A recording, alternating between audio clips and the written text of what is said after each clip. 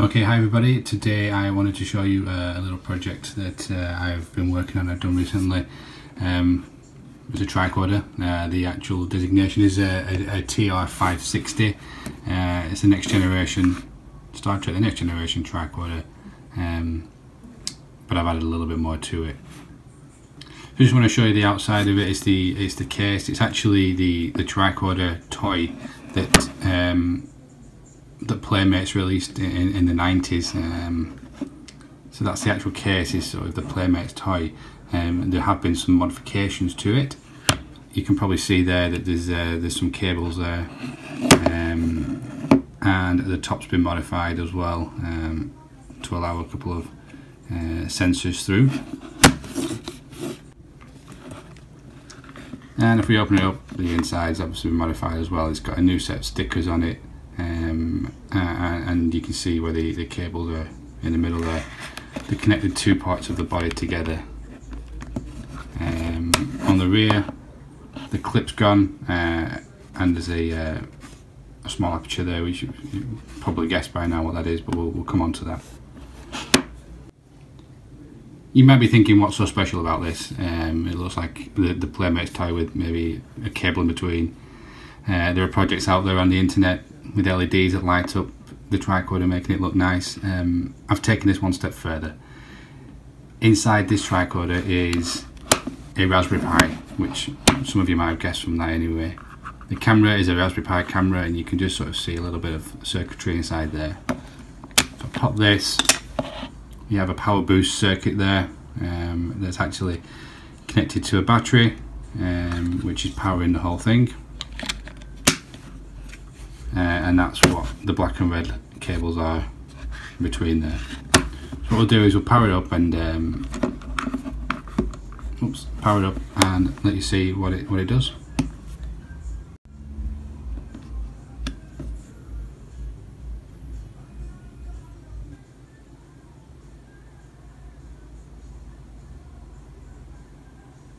Accessing library computer data. authorization accepted. Please specify how you would like to proceed. So this is the tricorder. You might be thinking it looks good. You know, it's got a screen on it, nice colour screen there, a little bit of an LCARS sort of data um, screen, um, but it's got more than just that. Yeah, it's got the colour screen uh, and it's got some LEDs that you can light up, but these buttons all work. There is a, a capacitive touch sensor running every one of these buttons, and these buttons actually do something. Um, within here, there's also a number of sensors which I showed you at the top of the, uh, the tricorder earlier on.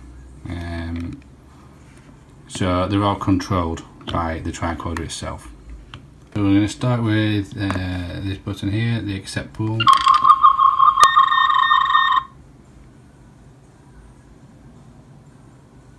So a little bit of an animation and then it's a, a, Wi-Fi scan. So what it's doing is just using the Pi uh, to do a bit of a Wi-Fi scan in the area. You can see we've got one of two uh, SSIDs.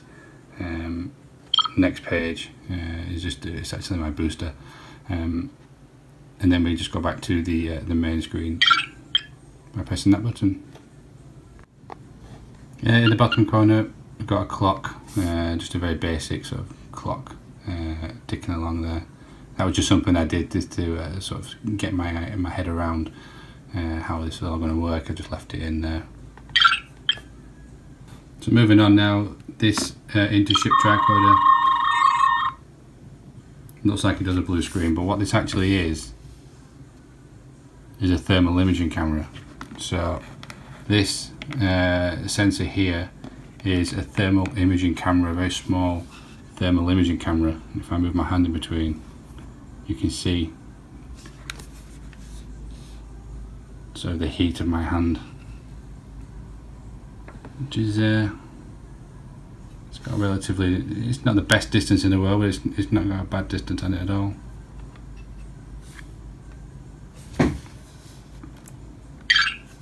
Then back to uh, the main screen. Uh, the I button just gives you the basic system stats, uh, CPU use, memory use, uh, things like that. Just for, again, it was just a bit, a bit of testing more than anything else um, to see what the system could do. I'll show you the E button. Captures an image. It gives you a five second countdown and captures an image Program complete. uh, and shows it back on screen. That's uh, that's my cat's on a printer next to me asleep.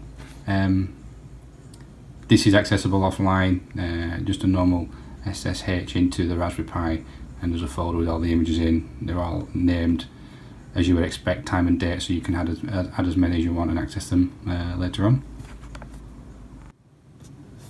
So next we'll go through the uh, this F button here.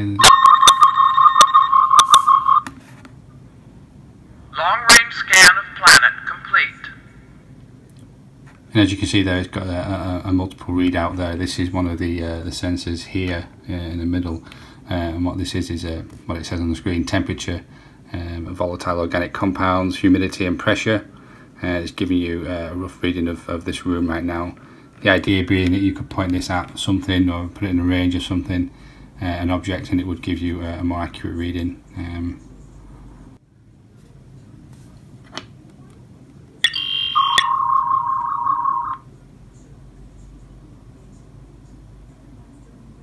So what you can see here, we've got a bit of an object temperature.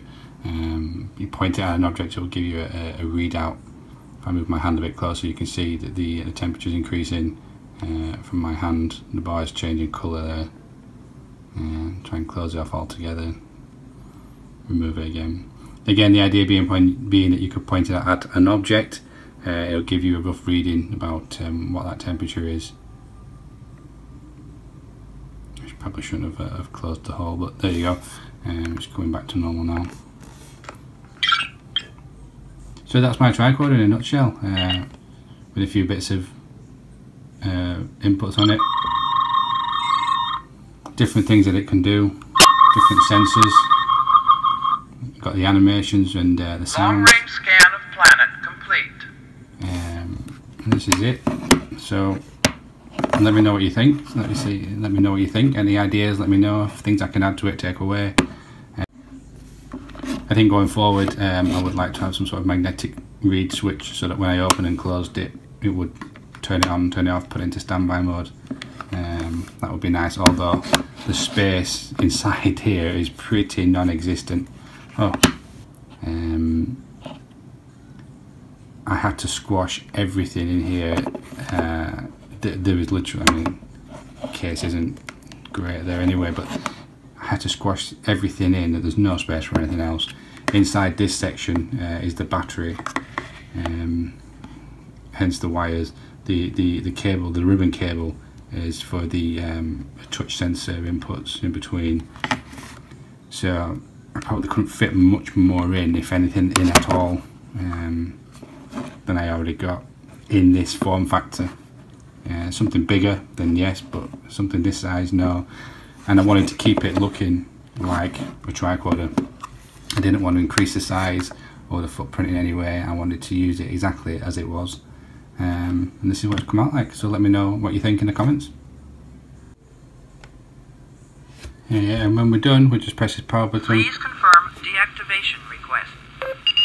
Deactivation complete. Now disconnected from this terminal. Uh, and that's it. Power off.